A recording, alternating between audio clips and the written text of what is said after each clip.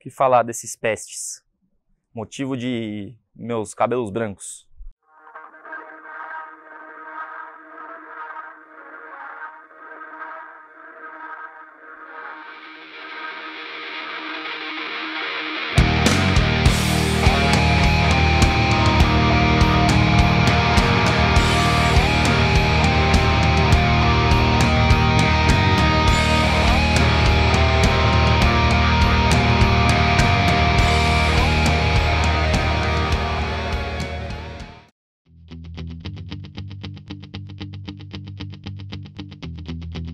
Academy começou mais ou menos no meio de 2017. Uh, a gente viu que precisava, de fato, jogadores novos no cenário, é, se preparar para o futuro.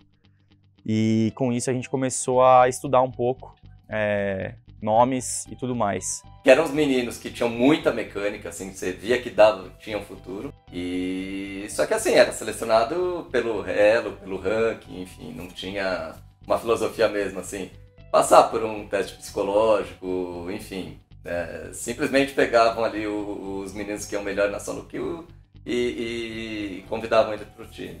E foi muito bacana poder ter de perto os meninos lá. É, a gente estava na game house antiga ainda. E eles ficavam numa sala onde não, meio que numa sala de lareira onde era a casa velha. Então eles não tinham não tinha divisão de porta nem nada da, do, da, do time principal. Então ficava o time principal na sala de cima e o time é, academia na sala de baixo. Era a estrutura que a gente tinha, não, não tinha muito o que fazer. Então, quando os meninos da principal estavam treinando, os, time, os caras da academia não podiam treinar porque fazia barulho. E aí os outros ficaram reclamando e via essa guerra, né? De barulho e tal. Quando a gente fez o projeto aí da Academy, é, tinha muita coisa que eu trazia do, do esporte tradicional, né? E lá, né, depois de um ano na Red, a gente tendo caído, eu comecei a entender que era muito parecido com o esporte tradicional e eu sei que, tinha certeza, né, que a Academy era, era a peça-chave ali para a gente conseguir alguma coisa.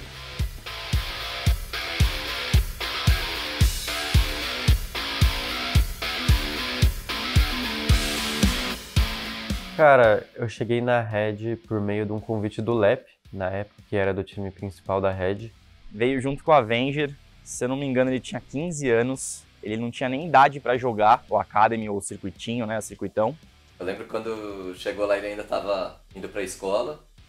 Vicenzo, que era o manager na época, ficava doido com ele, porque tinha que acordar ele, ele demorava para acordar e lembro que teve uma vez que o Vicente ficou, o Vicenzo ficou muito puto com ele, porque ele acordou para ele ir para a escola, ele foi, deu, sei lá, uma hora, o Vicente teve que levantar de novo para atender a porta, era o Guigo que ele tinha ido de chinelo para a escola e não podia entrar de chinelo. A Red estava com um plano de fazer uma equipe de 10 jogadores para ter um time B e meio que treinar entre si assim e, se desenvolver tendo isso como base. E eles viram que eu era o top laner mais bem colocado. Na época, alguns jogadores estavam se aposentando, o Mylon não tinha tanto top laner bom para se buscar no cenário e eles me chamaram e me deram a oportunidade muito extrovertido, sempre brincando com tudo, sempre conversando com todo mundo. Ele como pessoa, assim, como jogador, é indiscutível, é um dos melhores da posição dele, aqui no Brasil com certeza. Pra tentar finalizar agora, achar todo mundo no meio do caminho, vai segurando a Stasis, double kill já garantido agora nas mãos do Guigo, ainda vai continuar, tem um tempo na jogada, garantindo mais eliminação, olha o chegando, olha o chegando e vai chegar! É quadra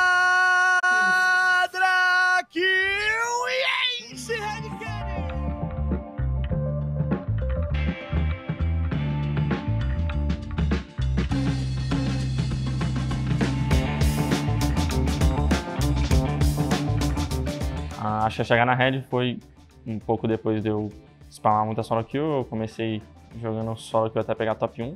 E ele era assim, onde todo mundo colocava todas as fichas, porque se eu não me engano, ele era top 1, top 2 e top 3 na solo kill. Ele fez três contos e ele jogava num notebook Cara, o Avenger é um, é, um, é um fato muito engraçado, porque eu sempre gostei, era escancarado a minha preferência por ele de todos os outros da Academy, eu sempre tive um carinho muito especial por ele. E da mesma forma que teve com o Gigo, ele também teve lá da adolescência, a gente trouxe a mãe dele de Maringá pra, pra conhecer a Gaming House na época, para convencer ela a deixar o menino vir. E aí teve um vídeo do, do BRTT que me deu muita visualização. Nesse vídeo fiquei bem conhecido assim no cenário. E aí eu tive a proposta de vários times entre eles era a Red e eu preferi ficar com a Red. Ele sempre, quando eu chego pra, pra perguntar como tá indo os treinos, né? Quando eu não assisti ou alguma coisa assim, sempre ele fala, ah, levamos um pau. Sempre é 5x0 pros caras, é não sei o quê. Não, os caras lá são muito bons, não vai dar pra gente. Mas sempre nesse tom, né? De ironia. Ele e o Jojo, principalmente. A gente chegou nos playoffs, ele não tava performando bem, né? Agora no, nesse split no CBLOL. E, e ele aceitou numa boa de, de entrar o Gravitar no time recebeu de braços abertos. E o tempo inteiro, sempre, ele ficou junto com a gente ali, ajudando, elevando a moral do time, treinando, é, dando toque para um, para outro, vem assistindo os jogos e falando, durante os jogos, entre os jogos. Ele vê, ó, oh, fulano tá fazendo isso, ó, fica ligado naquilo, faz tal coisa. Não, você tá jogando bem, você tá jogando mal, meu, presta atenção nisso tem um futuro muito brilhante pela frente. Ele agrega bastante pelo time e é isso. Chegou para aqui o Jojo e o Titã. E agora, para onde vai o Truflax? Para onde vai a Miners? O Avengers já pega o abate para cima do drop e cai o equalizador, mas não é efetivo. Double kill na mão da Kali para buscar o triple. O Avengers ainda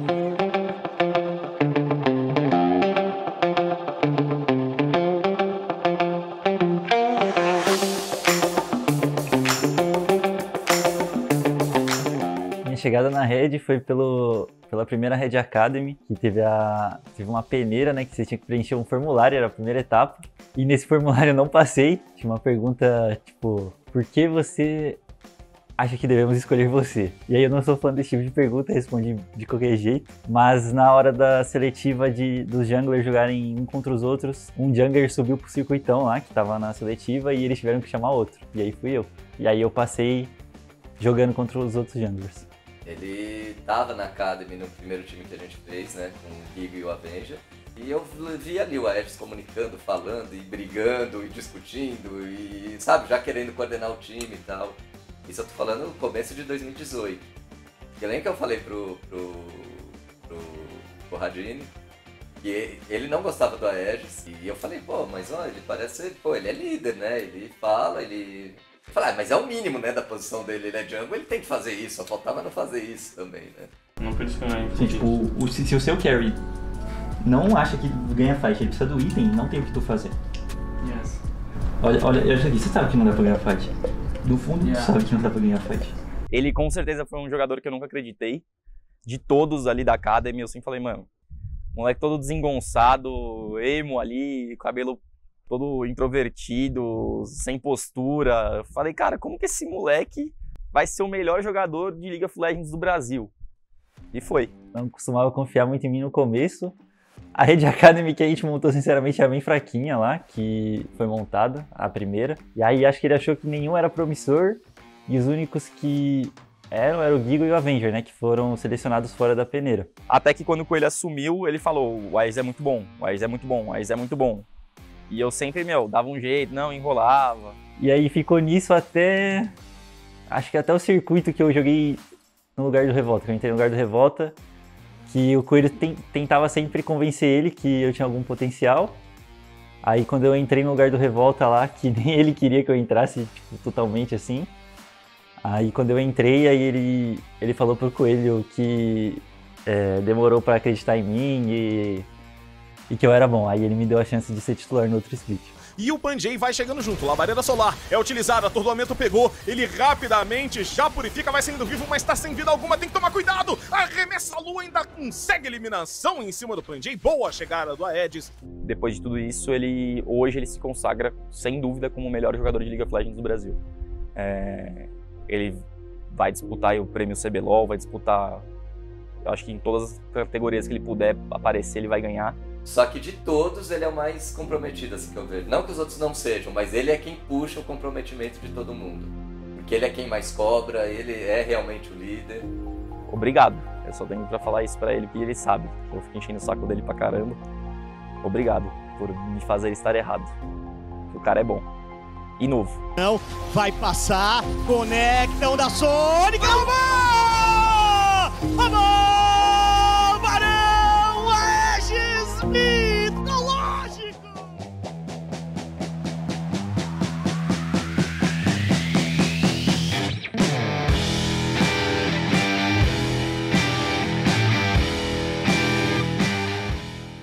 História dele eu acho que é muito legal, porque ele assistiu na cidade dele a final, a Red sendo campeã.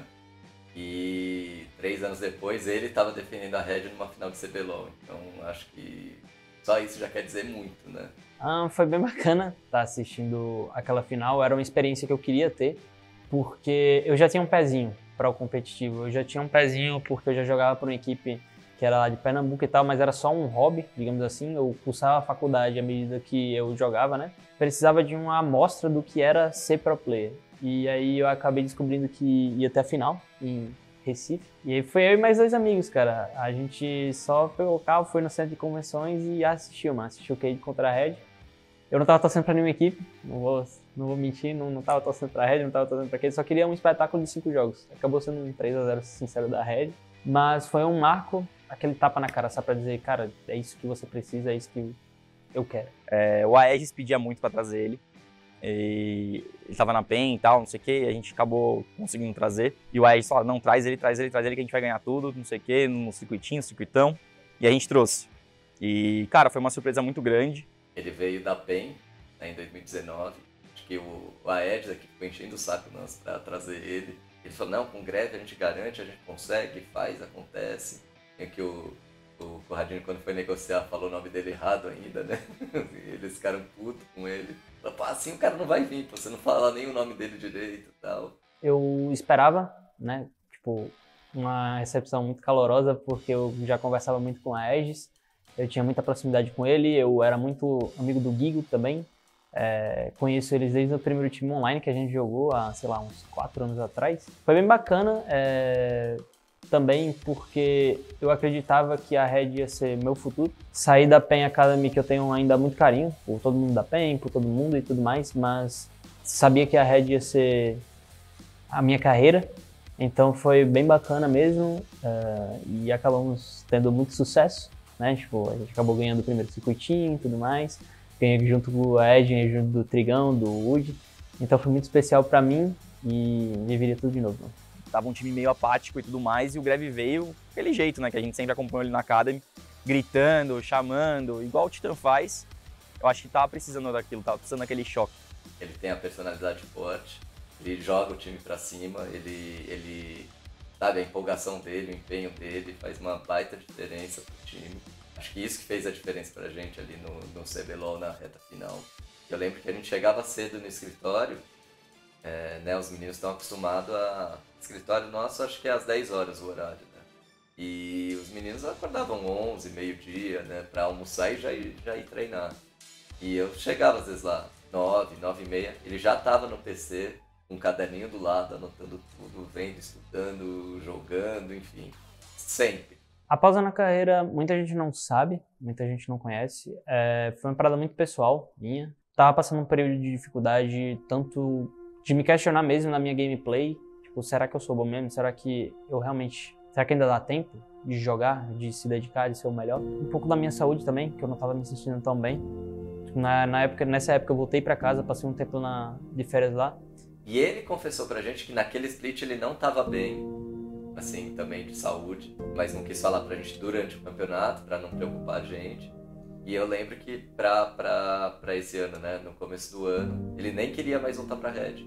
Ele tava com a cabeça, provavelmente ele tinha propostas de outros times aí.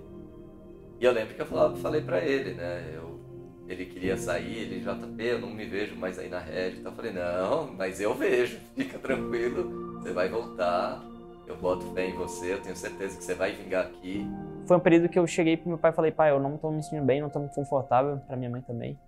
Engraçado que meus pais, que eram os caras que não estavam apoiando minha carreira no começo, que estavam meio que ainda, cara, será que é isso que ele realmente quer? Porque é uma carreira diferente.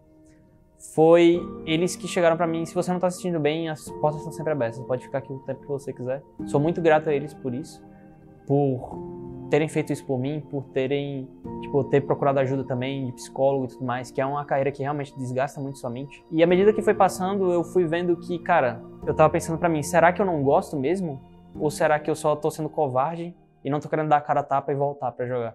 Eu falei para mim mesmo, mano, eu vou voltar e dessa vez vai ser pra valer. Dessa vez se eu dava 200% lá, eu vou dar 300. E aí quando chegou a oportunidade ali para ele, né, a gente tava todo mundo ali meio na dúvida, Será que ele vai performar bem? Será que ele não vai? Será que ele vai sentir a pressão?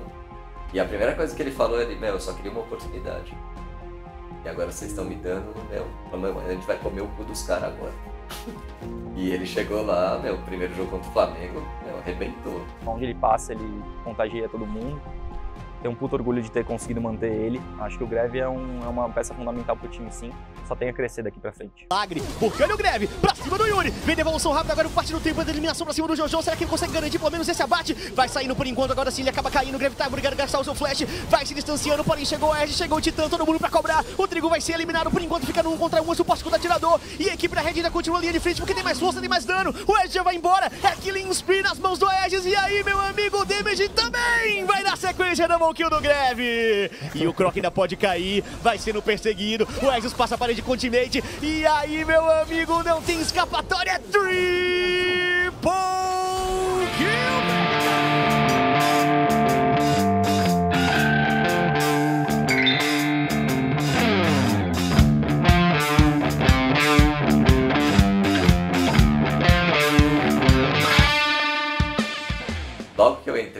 Red, assim, né, no primeiro campeonato, o primeiro split foi em 2018, eu lembro que todo mundo odiava ele na Red, assim, os jogadores. E eu não entendia por quê, também tinha acabado de chegar e tal, né. Até o dia que eu fui assistir, né, a gente jogar contra ele, e eu via lá o moleque pequenininho, folgado, e pulando, e gritando, e xingando e tal. E pensei, né, falei, meu, esse é o cara que eu queria ter no meu time um dia, porque eu gosto disso, né. É, hoje você vê ele, o Grevitar, até o Aedes um pouco ali gritando e tal.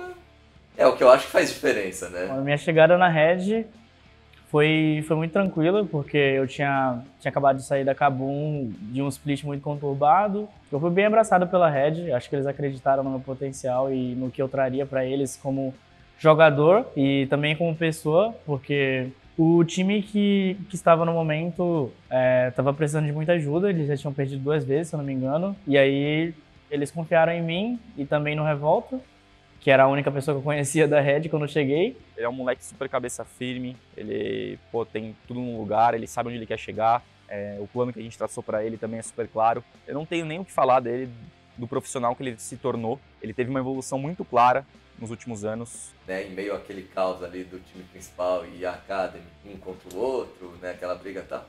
Tita era o único que, que andava no, no, nos dois. Ele estava assim. Acabava os treinos do time principal ele sempre ficava lá com a Academy. É, qualquer brecha ele estava lá com a Academy. Ah, vai almoçar, tá lá junto com a Academy. Até que chegou uma, uma hora que ele falou no meio do split, né, terceiro split lá em 2020. Ele falou: Meu, eu quero jogar no time da Academy o Sobe, quem. Eu não sei se era, era o Trigo que tava lá. E ele falou, não, coloca o Trigo lá no meu lugar e eu jogo pra. E a gente tava tendo muita dificuldade com a line principal e depois que a gente perdeu o circuito desafiante, a gente não teve férias. A gente ficou mais ou menos em tryout com as pessoas que eram da Academy, porque a gente treinava contra eles e eles acabavam ganhando da gente em alguns, alguns jogos e a gente via potencial neles, mas que era muita birrinha entre os players de ego, eu acho, de, de não entender que eles já estavam melhor ou realmente já estavam chegando no nível que a gente estava. E a gente tinha uma line certa, é, que toda vez a gente treinava e dava muito bom, que era essa line hoje que é campeã do, do CBLOL. Depois dos problemas que estavam acontecendo na principal, por muito desgaste mental, eu cogitei ir pra Academy e falar pro Trigo subir pro, pra line principal. Muita gente não, reconhece, não reconhecia ele como o melhor ADC do Brasil e hoje não tem o que discutir. Ele é o melhor da posição fácil. E lógico, e ele passa, transmite confiança. Porque ele fala, se eu não tiver confiança no meu time de ir lá e, e, e falar que a gente vai ganhar, que a gente é melhor, porra, vou esperar os outros, a gente só é criticado. Cara, é o cara, é o que eu falei, ele e o Grevitar, assim, a, a forma deles de, de levar as coisas, eu acho muito legal pro time. Foi, se eu não me engano, foi na final. Eu acho que foi o ponto crucial que eu vi, que eu falei, caralho, que atleta que esse moleque virou. Ele virou pro Coelho quando eles estavam falando de draft antes da final. Se eu não me engano, foi na final, tenho quase certeza que foi na final. E o Coelho falou: você tá confortável de jogar com um X? O Titã falou: eu tô confortável de jogar com qualquer coisa pra ajudar o time. Então eu falei: caralho, temos. Porque eles me acolheram de uma forma que eu nunca tinha sido acolhido. Tenho palavras pra medir o quanto ele se tornou importante pra organização. É essa a armadilha que eles querem?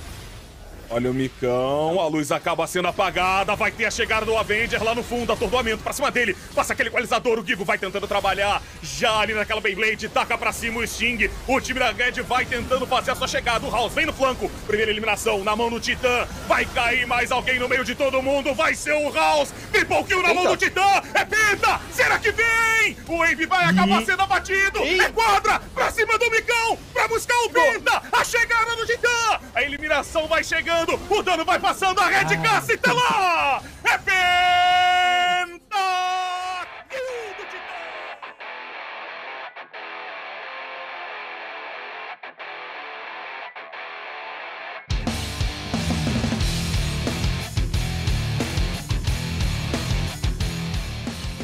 Quando eu recebi a proposta da Red, eu já sabia que ia manter a line, eu já...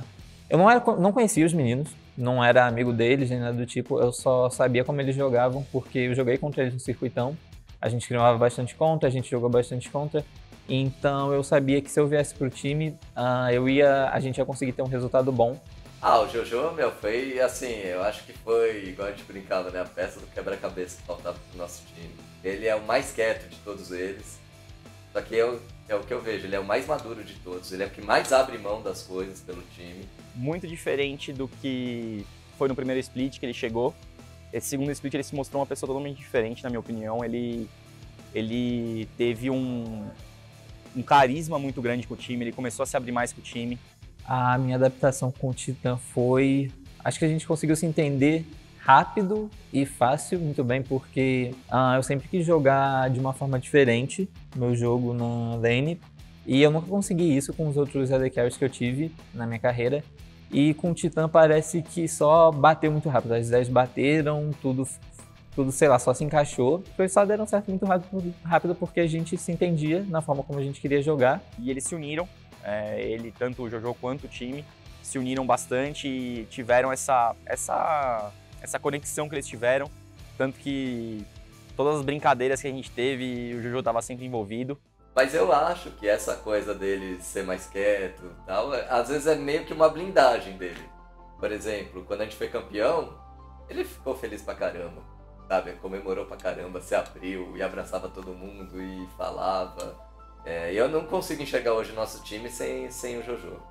Entrou FNB, jogou na parede, mas ainda assim, eliminação lá em cima do Oza. Red tá mais forte, conseguindo eliminações. Já conseguiu o primeiro, já conseguiu o segundo. E não vai parar, meus amigos. Olha Red Keynes pra triunfar, pra continuar. Cai um, cai dois, cai três, cai quatro, cai cinco e tá